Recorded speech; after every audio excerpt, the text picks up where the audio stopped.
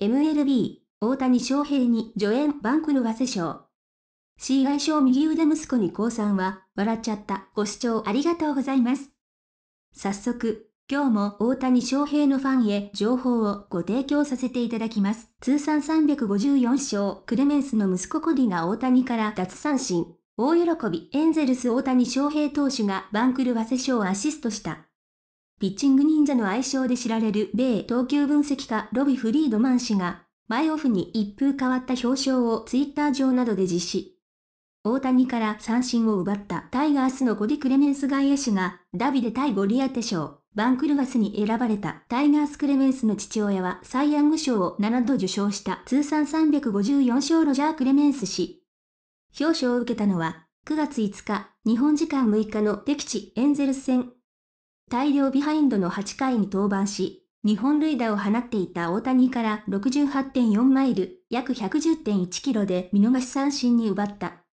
翌6日、同7日には、その記念ボールに大谷からサインをもらうほど大喜びしていたファンからは、クレメンスは本当に嬉しそうだった。今年一番の最高な交流、家族揃って素晴らしい投球、素敵などとコメントされた。日本語でも、翔平、許してクレメンス。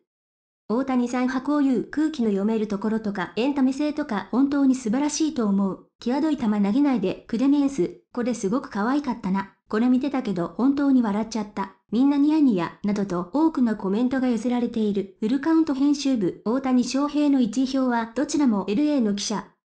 地元の選手を MVP に押す傾向はあるのか。アリーグの MVP 投票は、30人中28人の記者がアーロン・ジャッジ、ニューヨークヤンキース、現 FA を1位に上げ、残る2人は大谷翔平、ロサンゼルス・エンジェルスを1位とした。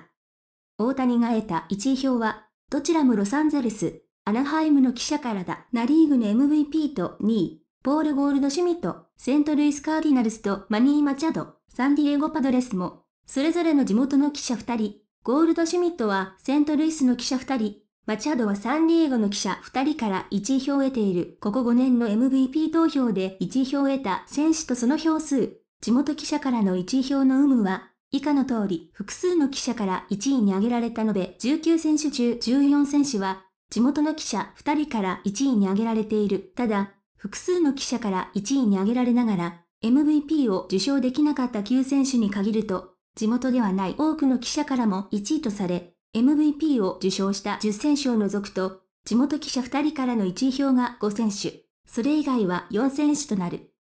後者の内訳は、地元記者からの1位票1と1位票0が2選手ずつだ。また、複数の記者ではなく、30人中1人から1位に挙げられた7選手のうち、その唯一の1位票が地元記者だったのは、2020年の DJ ラメーフューニューヨークヤンキースだけだ。他の6選手は、地元ではない記者から1位とされている。例えば、2018年のマイク・トラウト、エンジェルスは、テキサスの記者から1位票を得た。